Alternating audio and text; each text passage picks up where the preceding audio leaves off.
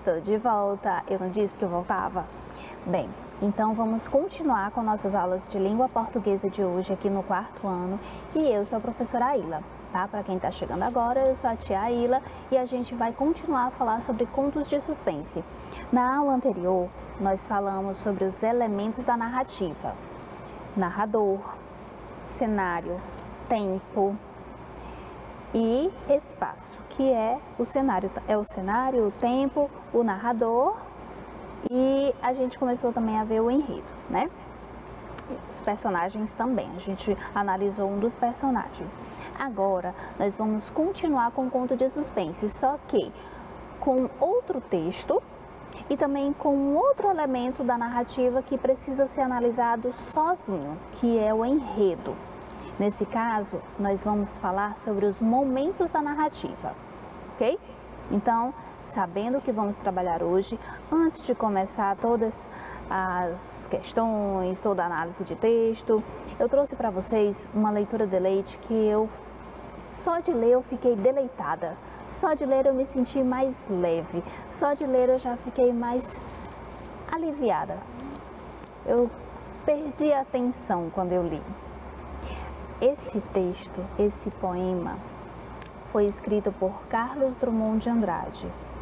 Ele é um texto sublime, é um poema que nos faz observar melhor o nosso corpo e também a nossa realidade. E o que a gente faz para aliviar a tensão. Então, eu quero que acompanhem com atenção essa leitura e que abram um coração. Acompanhem de coração aberto e deixem a beleza dessa poesia entrar nos ouvidos, na cabeça e no coração, ok? O título é A Dança e a Alma. A dança não é um movimento, súbito gesto musical. É concentração no momento da humana graça natural. No solo, então, no solo não, no éter pairamos Nele amaríamos ficar. A dança, não o vento nos ramos, seiva, força, perene estar. Um estar entre o céu e chão, novo domínio conquistado, onde busque nossa paixão, libertar-se por outro lado, por todo lado.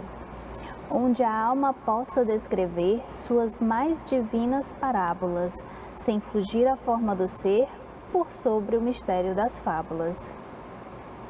Gente, isso tocou a minha alma de um jeito que eu tinha que compartilhar com vocês. Eu tinha que trazer e mostrar para vocês que a dança é um estar entre o céu e o chão, um novo domínio conquistado, onde busque nossa paixão libertar-se por todo lado. Você já dançou hoje? De repente assim você estava tomando banho, aí você ouviu uma música e começou a dançar embaixo do chuveiro. Você fez isso hoje? Eu fiz.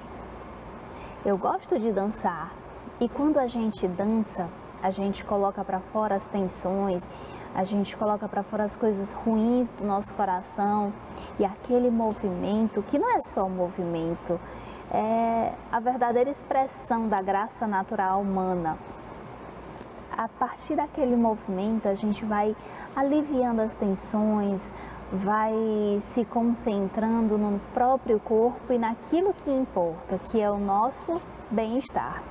Então, eu trouxe esse texto para que a gente perceba como a dança é algo importante para aliviar as tensões, para se libertar das coisas ruins e para deixar uma dica para você. Dance.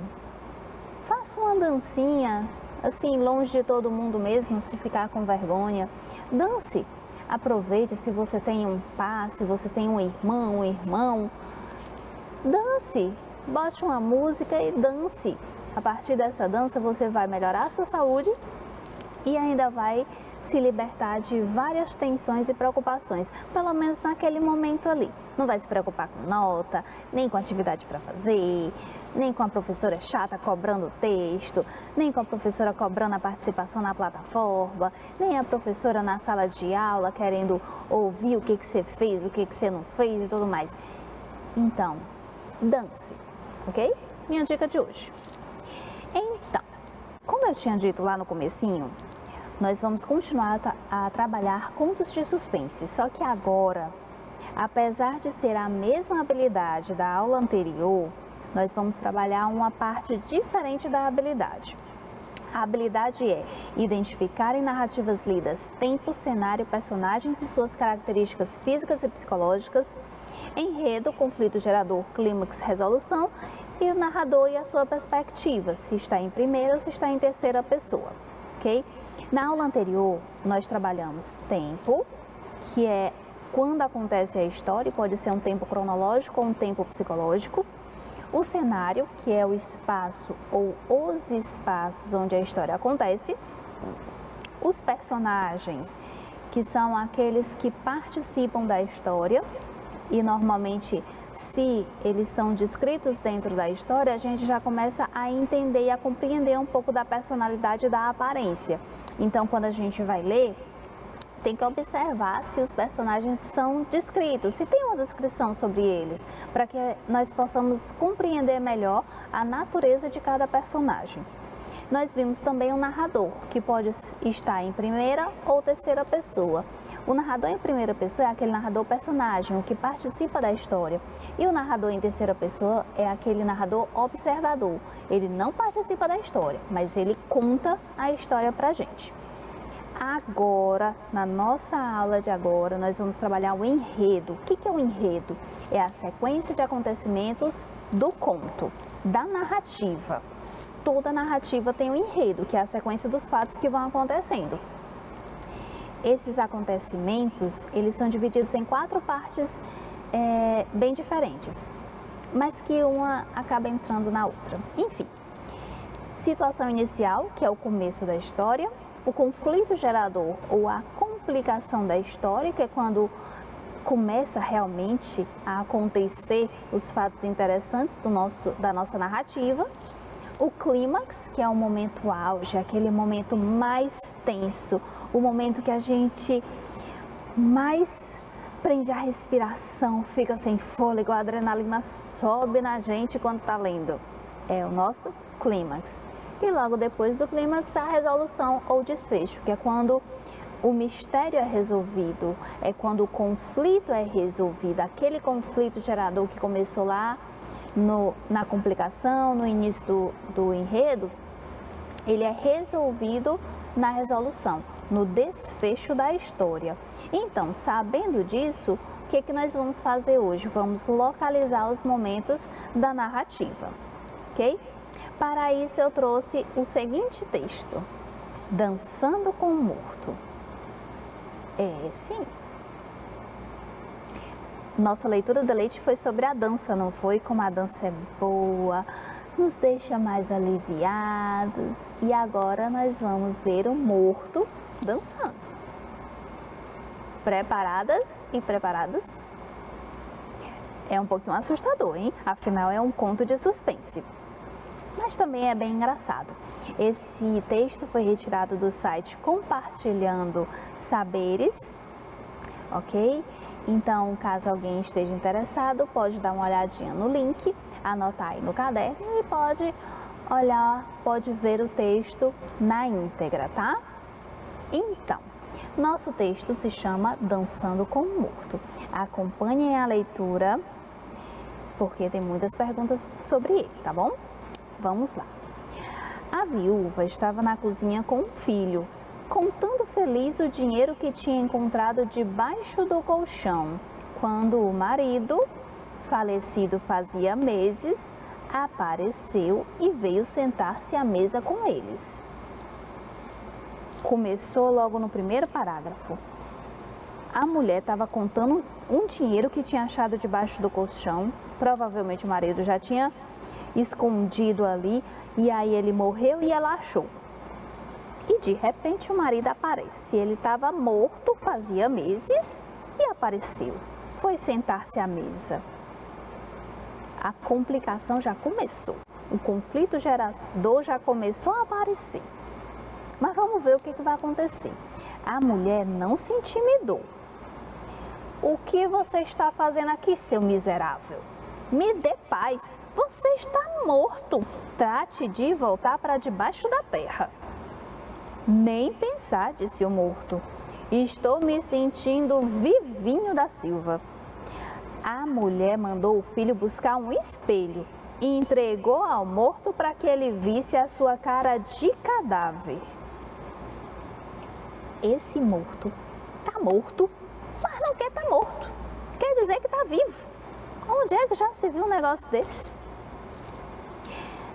É, estou abatido. Deve ser falta de exercício, disse o falecido. Olha que coisa mais sem noção. Ele morreu. Como é que vai ser falta de exercício? E mandou o filho buscar a sanfona. Convidou a mulher para dançar. Ela, é claro, não quis saber de dançar com o defunto, que cheirava pior do que gambá. O morto nem ligou, começou a dançar sozinho. De repente, a mulher viu que um dedo dele estava caindo e ordenou: Toca mais rápido, menino. Assim que o ritmo se acelerou, caiu outro pedaço. Mas que depressa, que eu também vou dançar. Ela resolveu e começou a requebrar e saltar e jogou a perna para o alto e balançar a saia. O marido, animado, tratava de acompanhar as piruetas da mulher e enquanto isso o corpo dele desmoronava até que só ficou a caveira pulando no chão, batendo o queixo. Gente, vamos combinar. Já começou a ficar até um pouco engraçado, né? Mas vamos acompanhar essa história. A mulher achou um dinheiro que o marido tinha escondido. O marido morreu. Ela achou. Ela estava ali contando toda feliz da vida. Achou o dinheiro escondido, ó, e vou gastar. Pensou logo ela, né? Eu também ia pensar assim. E aí, de repente, o marido que estava morto fazia um tempão apareceu. Dizendo que queria ficar ali, que estava se sentindo vivinho. Olha só, ele já estava morto e disse que estava vivinho. E até parece que ela ia acreditar, né? Ele estava mesmo, era para ver o dinheiro. Então, ele, para mostrar que estava vivinho, resolveu dançar. Pediu para o menino pegar a sanfona, o menino começou a tocar. Só que enquanto ele dançava, caiu um dedo. A mulher viu, menino, bota mais rápido essa música. E aí eles foram dançando, dançando, dançando e o morto foi desmoronando. Dançaram tanto, ela rodopiando tanto, dançou, pulou, jogou a perna para o alto que ele desmoronou todo. Ficou só a caveira, que é a parte da cabeça, pulando no chão e batendo o queixo. Rapaz, o que será que vai acontecer? Hã? Olha, a tensão já está começando. Será que de repente ele vai se montar de novo, vai parar de dançar, se montar de novo, pegar o dinheiro e sair correndo? Ou será que a mulher, na verdade, vai dar um chute na caveira dele e ele vai parar lá no outro lado da casa? O que será que vai acontecer agora? Aqui nós já estamos no momento do conflito gerador. Ele já se instalou, nós já percebemos o começo da história propriamente dita. Ela achou o dinheiro, ele apareceu, disse que estava vivo, que estava se sentindo muito bem. Começou a dançar e ela começou a botar ele para dançar. Vai dançando, vai dançando. E ele vai desmoronando enquanto dança. Só que a gente já está tenso, está querendo saber o que será que vai acontecer. Será que ele vai pegar o dinheiro? Será que ele vai se montar de novo, pegar o dinheiro e cair fora? Será que a mulher vai dar um chute na caveira dele sair correndo com o dinheiro e o menino? Ou será que o menino vai deixar os dois ali dançando e vai pegar o dinheiro e ir embora? Fugir com a mulher dele? Pode acontecer qualquer coisa. Eu já estou aqui pensando o que será que vai acontecer. Então, nós estamos caminhando para o clímax da história, para aquele momento mais empolgante. Vamos lá? Vamos ver? A mulher caprichou uma pirueta. A caveira imitou e o queixo desmontou. Pronto! Mais que depressa, a mulher mandou o filho buscar um baú para guardar os pedaços do marido. Põe tudo que é dele, filho, tudo, tudo, tudo, que eu vou procurar uns pregos e um martelo. Dali a pouco ela voltou e caprichou nas marteladas para que o morto nunca mais escapulisse. Enterraram o defunto de novo, depois jogaram bastante cimento em cima. Só no dia seguinte, a viúva lembrou do dinheiro do marido, que ela tinha deixado em cima da mesa. Cadê? Cadê o dinheiro? Uai, mãe, não era para guardar no baú tudo que fosse dele? Gente, ela disse: bota tudo que é dele, filho que eu vou procurar uns pregos e um martelo para ele nunca mais sair. O menino obedeceu, botou tudo que era dele, inclusive o dinheiro que ela tinha achado. então, nós caminhamos para a resolução do nosso conflito. Na verdade, ninguém chutou ninguém, ninguém fugiu, ninguém foi embora. Ele acabou se desmontando sozinho com a pirueta que ela deu. Então, juntaram todos os ossos, juntaram todos os pertences do defunto, colocaram dentro de uma caixa, tamparam, enterraram e ainda botaram cimento por cima. Nunca mais ele vai escapulir da cova dele. Inclusive ainda botaram o dinheiro. Coitada. Enfim, esse nosso conto de suspense, ele é um pouquinho, foi um pouquinho mais leve do que os, de, os anteriores. Eu reconheço. Mas está bem marcadinho os momentos do enredo. As partes do enredo a gente tem que se lembrar, como eu disse no começo: situação inicial, conflito gerador ou complicação, clímax e desfecho. O que, que eu quero que vocês se lembrem? Como é que a gente define cada uma delas?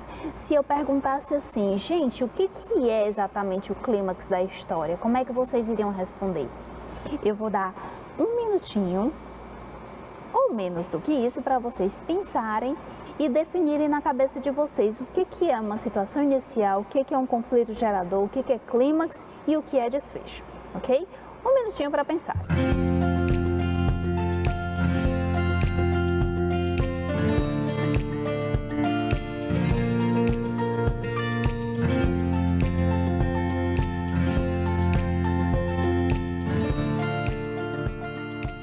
E então? Pensaram? É bem simples, pessoal. A situação inicial é o começo da história. É quando o narrador vai apresentar o cenário, vai apresentar os personagens, vai ambientar a história para que a gente consiga entender como é que aquilo começou, tá?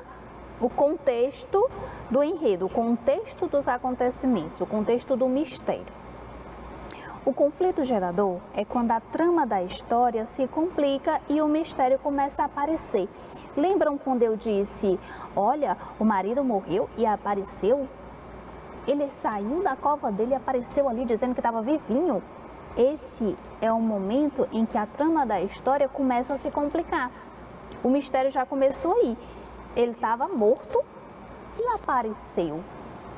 Isso é um mistério. Então, aí foi o começo do conflito gerador. O clímax é quando a trama, é quando a história chega no auge do mistério e da tensão. É aquele momento de maior adrenalina no texto de suspense, num conto de suspense. É quando você ou tem mais medo, quando acontece aquela coisa mais importante, mais empolgante da história. E por fim, o desfecho é a resolução do mistério, o momento em que o suspense acaba e a história chega ao fim. Ok? É quando o mistério que começou lá no conflito gerador, lá na complicação da história, é resolvido. E aí a história normalmente acaba naquele momento ali, tá? Nossa segunda perguntinha é a seguinte: conhecendo as partes do enredo que a gente viu na questão anterior, Releia o trecho abaixo e identifique que momento da narrativa ele representa. Então, tem um trecho e eu quero saber que momento da narrativa é esse, tá? Quando o marido falecido fazia meses, apareceu e veio sentar-se à mesa com eles. Esse momento eu falei bastante na hora da leitura e, e, e depois também. Esse trecho está marcando qual momento da narrativa? Está marcando a situação inicial, o conflito gerador, o início do conflito gerador, o clímax ou o desfecho? Alguns segundinhos para vocês pensarem, tá bom? E encontrarem a nossa resposta.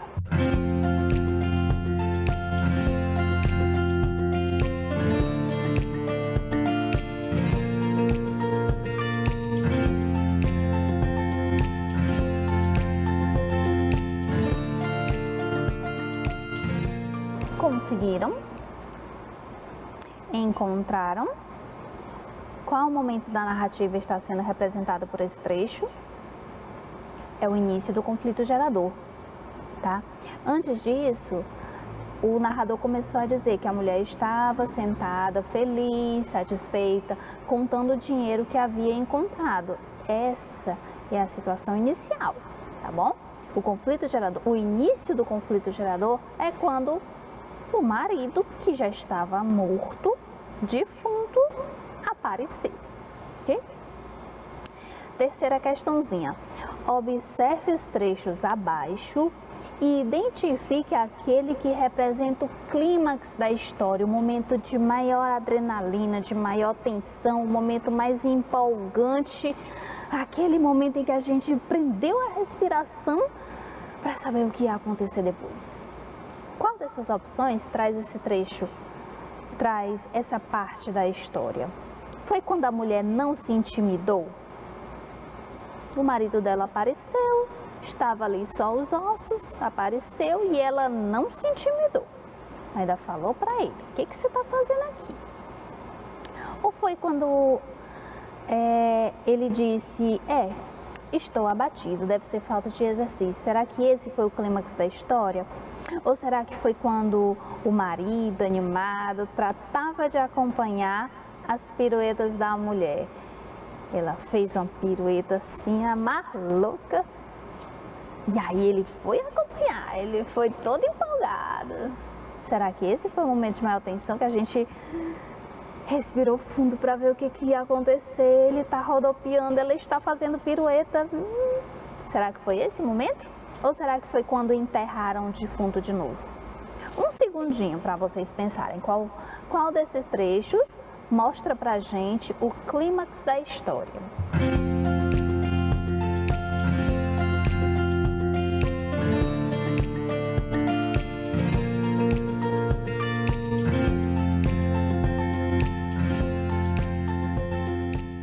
Encontraram a resposta?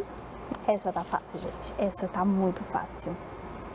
Foi naquele momento que o marido animado tratava de acompanhar as piruetas da mulher. Ela jogava a perna para cima e ele ia junto. Ela rodopiava e ele ia junto. E de repente só estava a caveira e ele estava fazendo todo o possível para acompanhar. E aí foi aquele momento em que eu prendi a respiração para ver o que, que ia acontecer. Esse foi o clímax da história. Na quarta questão diz o seguinte: observe os dois trechos abaixo e identifique qual representa a situação inicial e qual é o desfecho da narrativa. Eu até já meio que respondi, né? Numa questão anterior eu já disse qual era a situação inicial da história.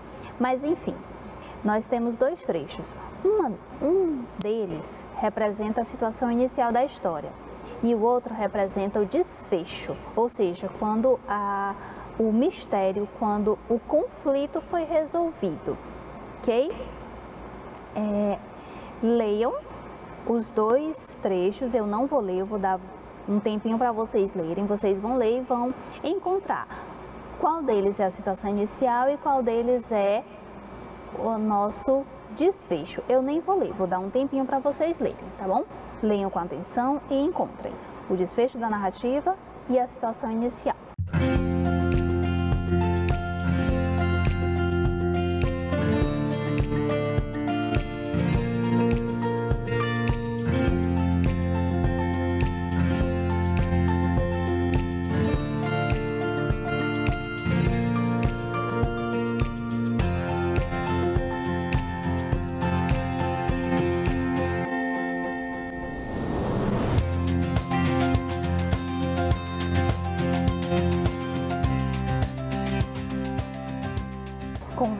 Né, gente? Tá bem claro, não tá?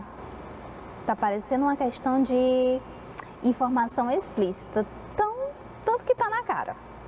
No trecho, a viúva estava na cozinha com o filho, contando feliz o dinheiro que tinha encontrado debaixo do colchão. Esse é o primeiro trecho. E o segundo, enterraram o defunto de novo, depois jogaram bastante cimento em cima. Gente, o primeiro trecho, quando ela está contando o dinheiro que ela tinha encontrado, é a situação inicial. Foi quando o narrador apresentou para a gente o contexto da história, o que, que estava acontecendo naquele momento em que o mistério, em que o conflito gerador ia aparecer. E quando eles enterraram o defunto de novo, foi o desfecho, foi o encerramento, foi a resolução do nosso conflito. Porque o que, qual foi o conflito desse conto? O marido, que já, já tinha morrido, que já tinha falecido apareceu ali enquanto ela estava contando o dinheiro. Ela encontrou o dinheiro dele e ele de repente apareceu morto-vivo, né? Porque ele já estava falecido, mas disse que estava vivinho, estava se sentindo muito bem. E aí aconteceu toda a trama, eles começaram a dançar, ele começou a desmoronar, se desmontar todinho. Ela então percebeu, começou a dançar também. E nessa dança, dança vai, dança vem, dança vai, dança vem, ele desmontou completamente. Eles colocaram todos os ossos, todas as partes dentro de uma caixa e enterraram de novo. Quando eles enterraram, então aquele marido que já estava falecido, ele já tinha sido enterrado novamente. Ele já tinha voltado para o lugar de onde ele tinha vindo. E aí acabou-se o conflito da história, porque o conflito dessa história era justamente a aparição do marido falecido, ok? E para nossa última questão, uma perguntinha bem simples. O que fez a mulher começar a dançar e ir cada vez mais rápido? Ela foi muito esperta, mas por que, que ela teve essa esperteza? Foi porque a música que estava tocando era contagiante? Ou foi porque ela lembrou quanto ela amava dançar com seu marido falecido? Ou será que ela começou a dançar por causa da alegria de ver o marido dançando como antes? Ou será que foi porque ela viu que quanto mais dançava, mais ele desmontava? Por que será que ela começou a dançar? Hum? Um segundinho para vocês pensarem.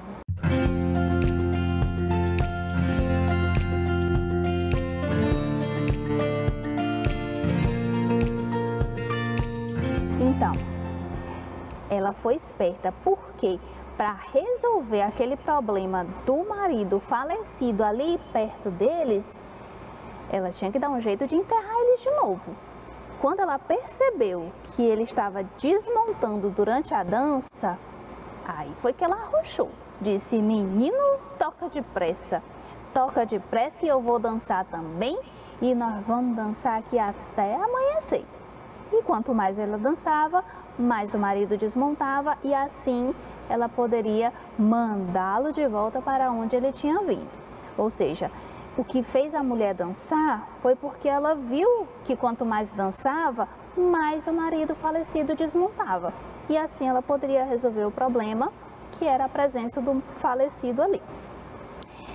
O que nós vimos hoje na primeira aula, os elementos da narrativa. E agora, na segunda, os momentos da narrativa. São coisas diferentes, porém, tudo está relacionado às narrativas, ok? Eu espero do fundo do coração que tenham compreendido. Caso não tenham compreendido, essa não é a última aula de elementos da narrativa, tá? Perguntem para sua professora, peçam ajuda, pesquisem na internet e com certeza vocês vão compreender bem esse, esse conteúdo, tá bom? Foi um prazer estar com vocês. Até a nossa próxima aula e um beijo no coração de cada um de vocês.